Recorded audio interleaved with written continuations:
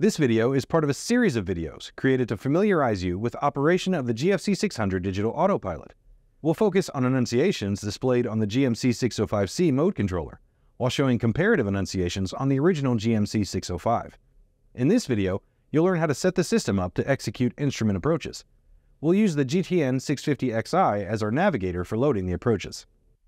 Executing a coupled approach involves a three-step process, with discrete triggers for each step.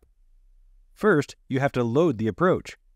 You can do this as soon as you know which approach to expect, either based on the wind direction at your destination or ATC guidance. So, step 1 is to load the approach when you know which approach you want or expect. Your Garmin Aviation Training Team has a tip for you when loading approaches into a GTN Navigator. Always load the approach via a logical transition, because when you do this, Garmin provides for selecting either Activate Approach which will take you directly to the transition waypoint, or activate vectors to final. If you load the approach via vectors, the only option that appears on the activation menu is Activate Vectors to Final. Take note that if you're using a GTN XI navigator and are loading an approach based on a ground-based NavAid, when you load the approach, the frequency for the NavAid will be loaded into the standby field. You will need to select to move the frequency to the active field by touching that field. Step 2 is to activate the approach. The trigger for this is when ATC instructs you to proceed to the transition waypoint or begins providing vectors to final. Since you loaded the approach via a transition waypoint, selecting Activate Approach will provide you with direct guidance to that waypoint. If ATC starts providing vectors, you can select Activate Vectors to Final. So, step 2 is to activate the approach when ATC sends you to the transition waypoint or begins vectoring you. You can verify that the approach is active by observing the active waypoint below the approach header in the flight plan. Step 3 is to arm the approach. The trigger for this is when ATC clears you for the approach. Arming the approach provides for capturing the lateral guidance as well as any vertical guidance associated with the approach.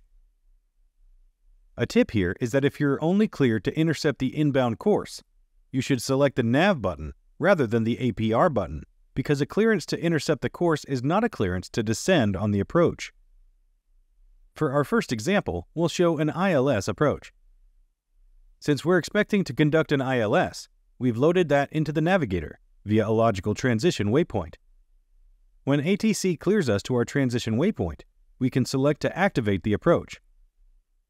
Note that selecting the transition waypoint and selecting Direct To has the effect of activating the approach, since the waypoint is within the approach. Since the active lateral mode of the autopilot was GPS, the aircraft will turn to align with a direct course to the transition waypoint.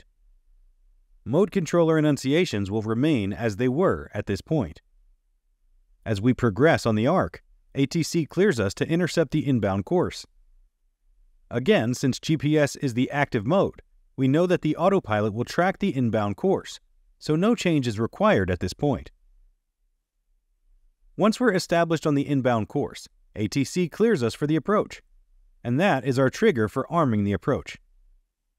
This is done by pressing the APR button. After pressing the APR button, you always want to verify that the appropriate armed indications appear.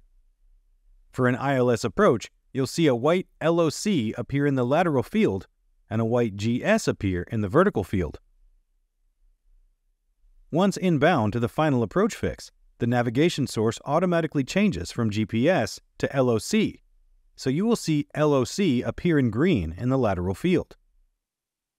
As we approach the final approach fix, the vertical deviation indicator nears the center, and the glide slope is then captured, as shown by the GS annunciation showing in green.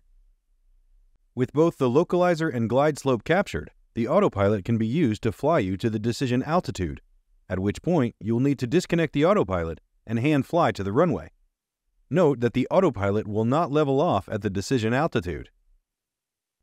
RNAV approaches with vertical guidance are flown much the same way as an ILS, and the same three-step process applies. With an approach loaded via a transition waypoint, we have the option to activate the approach via the waypoint or via vectors. In this example, ATC begins supplying vectors to final, so we adjust the heading bug to the heading given by ATC, and then select HDG mode. Since we're on vectors, we then select to activate the approach via vectors to final, which draws a magenta course line out from the final approach fix.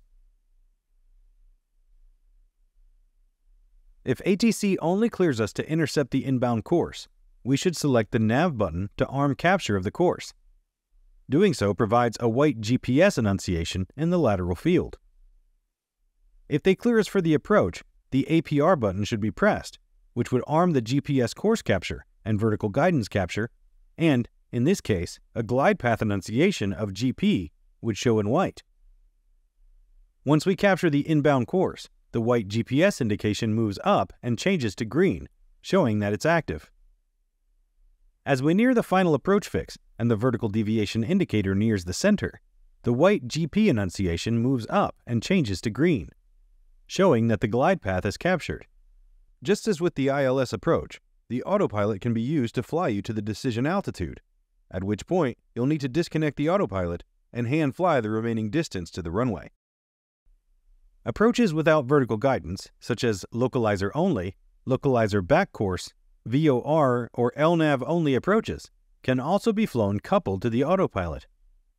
With these approaches, you need to make sure the CDI has been selected to show navigation information from the appropriate source, and you would then select the appropriate button to arm capture of the lateral path.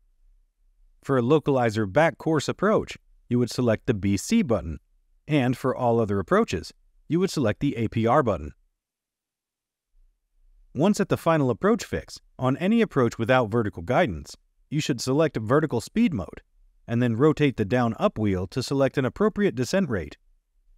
With certain Garmin displays, it's possible to adjust the selected altitude to capture at MDA, as shown here with ALTS 1460 showing as armed. If you arrive at the MDA and have the runway in sight, press the AP disconnect button and hand fly to the runway. If the runway is not in sight at MDA, and with the altitude captured, you should proceed to the missed approach point. To see how the missed approach is conducted, see our video in this series covering the missed approach.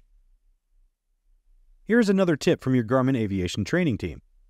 With a Garmin Navigator, such as the GTN 650XI, a large number of approaches that show as having lateral guidance only on approach charts will have GPS lateral and advisory vertical guidance available. For VOR, TACAN, and NDB approaches, you can use GPS based guidance and remain on magenta needles, as long as you monitor the operational primary navigation aid when inbound from the final approach fix. Monitoring the primary nav aid can be done using a separate receiver and instrument if needed.